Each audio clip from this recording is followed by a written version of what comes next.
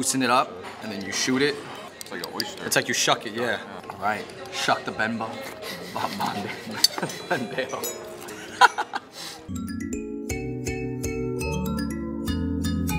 Houston, Texas is known for a few things pro sports, the oil industry, the NASA Space Center, and Vietnamese food. We're gonna do our best to give you a preview of Bellaire Boulevard by hitting a modern banh mi chains, traditional Hue restaurants, and even a place that only specializes in Bun Bo Hue.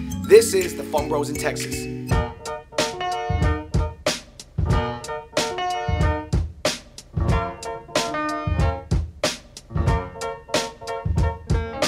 Okay, so expanding on the Vietnamese scene out in Houston, we are joined now with our friend Jack here. What's up, guys? Outside of this spot called Nam Giao. They specialize in Hue dishes. It's kind of like Vietnamese dim sum. Super good. Let's go. This is the only city where I've seen this type of concept in, so I'm really excited. medium rice pancakes. It's all go with the, uh, this pizza. What about these? It's also go with this Okay, pizza. also go with this one. Okay. Sure, sure. Actually, um, as you know, we are still trying to uh, offer more of the uh, Vietnamese food. The noodles is different too, making more varieties of the noodles. So we want to offer something different and healthy. All right, so originally we had said Vietnamese dim sum. I don't think they call it that, but these are Vietnamese appetizers that we've never had before. They look like dim sum. I'm pretty excited. Yeah, it's quite unique. I've never had this baby clam salad before. No, I actually never had this. So you came here before, but you never had this. Nah. Baby clam. thank you. Baby clam. Now it's like a salad, but it has it's mixed in with rice. Baby clam salad. It reminded me of one of those com tam plates, but with more seafood. Got the little clam flavor in there. Mm. Wow, really unique. So these are the things that really make it feel like dim sum. You have the pork and shrimp crystal dumplings. This is like the Vietnamese mochi on top of a crispy slice of mochi. And maybe some Chiu Chow influence in this. David Chang ate this for Ugly Delicious. And, I did, bro. oh yeah, oh yeah. That does look like a, kind of a dim sum feeling. Wow. It was like pepper cha siu with like a shrimp. Mmm. Kind of like a char siu pork and shrimp. This is almost like a Viet Mochi. It's a, looks it's a like it, mochi yeah. on mochi. Um, but I want to tell you about this. I'm gonna go in on this mochi bite. Dip it in this dipping fish sauce right here. Half dunk. Boom. Mmm. That's such a crazy mixture of textures. Yeah. Super crispy, stretchy, and chewy. See what's in this. There we go. It's kind of similar to the dumpling. Okay, similar to the It's like a lot of that hot churn texture, huh? Yeah. Dip Get this in everything. the sauce. Mmm. The dumpling or the lotus leaf. That, that's personally my favorite. Now, Oh, we got another one? hell yeah, yeah. It kind of looks like a tamale, but it's different. This is the uh, snail. So this yeah? is this is chopped up snail inside the sausage. Wow. No, that's not bad. Is really good. Dip it in the sauce a little bit like that. Mmm. You like? I actually really like it. You taste like just a hint of snail just around ham and pork. Banh beo. This is like that steamed rice cake. Found it interesting the way that you kind of loosen it up and then you shoot it. It's like an oyster. It's like you shuck it, yeah. All right, shuck the banh beo. Banh beo.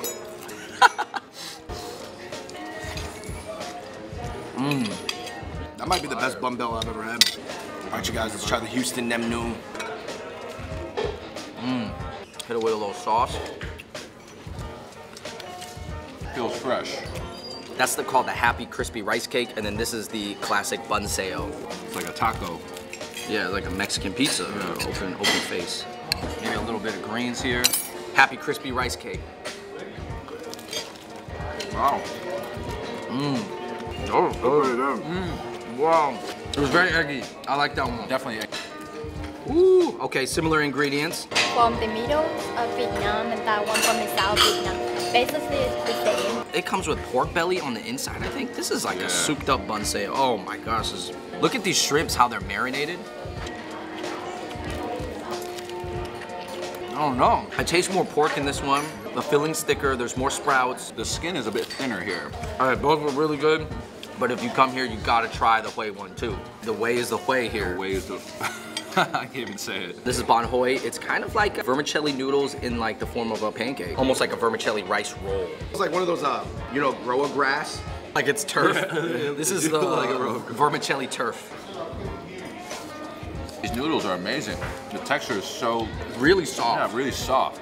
I don't know, it might be the best Viet restaurant I've ever been to. Right off Bellaire, obviously in Houston. The flavors and the care that they took. To put it simply, I think Nam Giao lived up to the hype. We're finally ending it off with some coffee. Hey, two-tone. I'm gonna mix it up first while it's still hot. Ooh. Oh. Strong. I think fu- the Vietnamese food here in Houston is the best. Houston is just way easier. Like the rent is cheaper, the cost of labor is cheaper. You're saying when the cost of labor is cheaper and the rent is cheaper, it allows you to deliver better value, right? Better value is you could bring traditional concepts from Hue to Houston. The businessman restaurateur, hustle up with Jack Liang. All right, guys, if you haven't hit the like button on this video already, hit that like button. Check out Jack's info down below. But on to the next spot. All right, you guys, we are looking here at Roostar Grill, which is almost like a, a mainstream version of a banh mi, but I still think it's authentic enough to appeal to the local Vietnamese people or Asians who grew up eating banh mi's Yo, this is the special one. with the egg. Oh my gosh. You know what I love about this special combination? Is like they kind of actually cook the meat a little bit. Mmm. That's good as hell. Nice chunk of jalapeno in there. Setting my whole mouth on fire, but I love it. I love the bread here. It's crispy. It's got plenty of mayonnaise. Yo, you guys, this is the beef curry. I didn't expect this. It tastes Thai. Mmm. Well, they do have a papaya salad here. I think it's cool that a lot of Vietnamese people, they even went through Thailand before coming to America. So there is definitely some Thai influence in a lot of Vietnamese American spots. Mmm. Wow. Pungent enough, but not too strong. Have you ever seen chicken wings presented like this though? On a bed of vermicelli noodles. Hey, so far so good. All right, Andrew, we gotta get the chopped ribeye. I'm gonna make sure I get a nice little chunk of jalapeno in there because the banh mi is not the banh mi without the jalapeno. Mm. Wow. Wow. Wow. Wow. Between the chopped ribeye and the special, crazy. I think the mayonnaise is really sweet. The meat's delicious. The banh mi is the perfect kind of Trojan horse for people to try Asian food. It's Asian enough, but it's really in a sandwich form, and everybody loves sandwiches. I would say the chopped ribeye and the special with the egg in them were amongst some of the best bun meats I've ever had in my entire life. I think that there is something very special about this mixture between Vietnamese and Texas. Andrew, I'm gonna go ahead and give Roostar Grill, and I'm not saying this, I'm gonna give it a five out of five on Yelp. I think it speaks volumes to how deep the Vietnamese are out in Houston. That was a dope fusion between Vietnamese, Thai, and Texas. On to the next.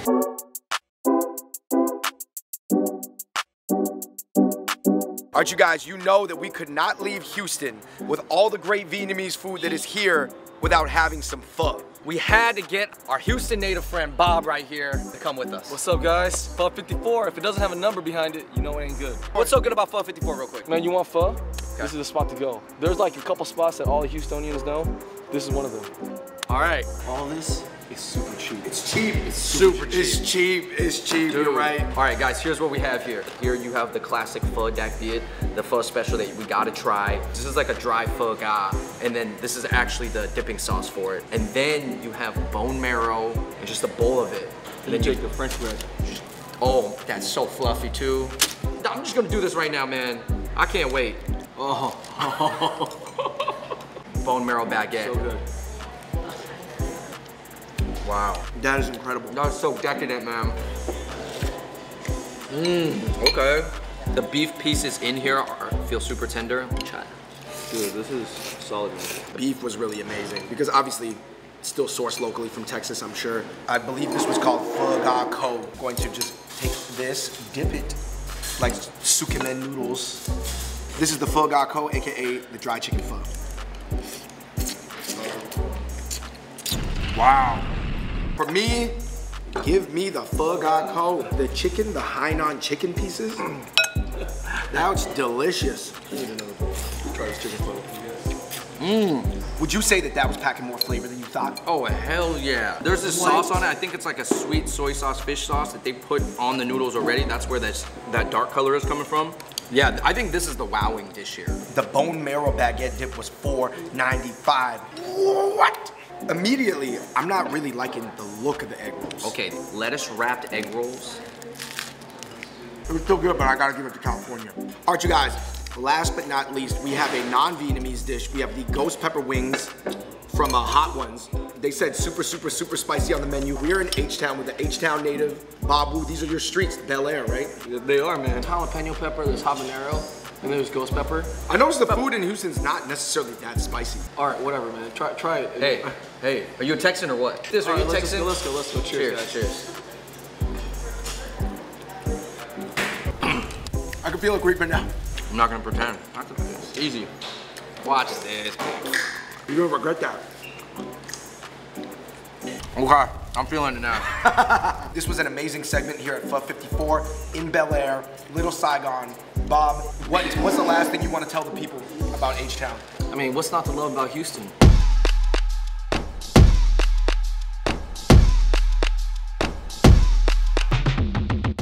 Next stop on our Vietnamese crawl through Houston, guys, we have Vinh Hoa or Vinh Hoa. I'm not sure how to say it. So we are at a Chinese Vietnamese seafood spot. If you guys know about the history of Chinese and Vietnam, had a lot of interaction for hundreds of years. This is essentially one of those mixed spots. Yo, I'm excited because in 626 there is quite a bit of Chinese Vietnamese food, but looking at these pictures, this looks a little different than the spots at 626. So I'm You ever had excited. this before? I've never had this. I never seen anything like this in New York City. Let's get it. All right, you guys, two of our dishes have arrived here at Vinh Hoa. We've got the razor clams, but with a basil jalapeno sauce. Yo, you guys ready to try this? Do it. Super expensive in Hong Kong. Mmm. This one is a little bit extra spicy. So the owner of uh, Vinh Hoa is actually a uh, Chiu Jiao guy from Vietnam. So he's Chiu Jiao Yu Lam Wa Kieu, which is uh, basically like a Chinese person who was born and raised in Vietnam. Okay. All right, you guys, let's get in on this lobster. So right off the bat, David, it smells like this is cooked with some fish sauce. It has a little bit of that pungentness. Wow. You guys, house special lobster here at Vinh Hoa. Woo! Have you had any flavor like that before? That was kind of like how you imagine like a Nuoc Mam wing to taste, except for lobster. A little bit of fish sauce, some sweetness, some lime. So far, so good. Wow. Yo, we had to order the coconut snails, bro. Coconut sea snails. It smells amazing. It's very fragrant. Gonna put the uh, Stuck it through the big hole. I've never had anything like this. Man, this is like a little booger right now. Yo, I would put that sauce on top of rice and just eat that. Wow. Wow. Wow. Yo. They put a little masago on the top. Have you ever seen this before? Never seen this before. I've never seen it presented like this. Never. Let's pop the hood. Oh. See what's underneath. Wow. Oh, they took it out for you. Wow. Whoa. Oh, the crab guts, the head Oh, guts. that looks amazing. I'm just gonna eat it back into the crab head. Look at that. Look at those textures. The colors. I just got my own uh, little crab bowl here. You got the egg, you got the crab guts, you got the crab meat, you got the crab sauce that they cook the crab in. The seafood flavor is strong. I can see why all the Asians love this place. The Vietnamese influences would probably be in the leaf, but I will be honest, this dish is not the most Vietnamese out of them all. You have the snails, which is a little bit more Vietnamese. You have this crab, which is more Chinese, and then the razor clams is pretty half-half. The lobster is pretty half-half. Man, this spot is really a true mixture. I gotta say that that is a very subtle flavor, but if you appreciate sort of like seafood umami subtlety, that is amazing. Yo, you guys, look at these clams. Sea clams, $9 a pound. Holy sh! Look at this. Whoa! Very, very light, just a little bit salty, but really letting the clam shine with a little bit of scallion on there. You gotta drink, drink that? Drink the juice. Ooh, very subtle, very clean flavor. That was a very Chinese flavor. Yeah.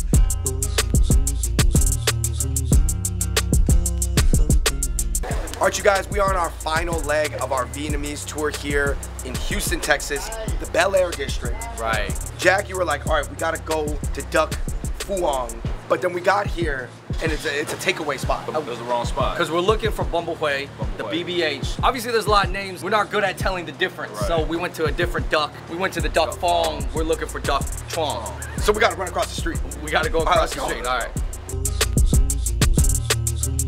All right, this says Bun Bo Hue Duck Chuang. I think we're here. Let's go.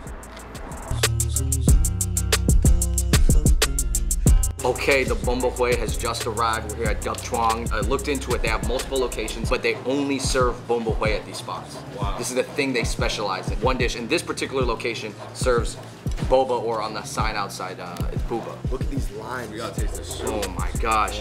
We got the large bowls. This is huge. Let's just take a look at this. If you look at this mountain, Boom. dude, this is definitely on a level of authenticity that I've never been exposed Yeah, to. man. I didn't put any lime in it because I want to taste it pure. Wow. Mmm. This is crucial. I saw that in the comments. A lot of people Yeah. recommend putting extra shrimp paste in. Yeah. Jack, what do you like about Bun Bo Hue even more than like, you know, your standard pho?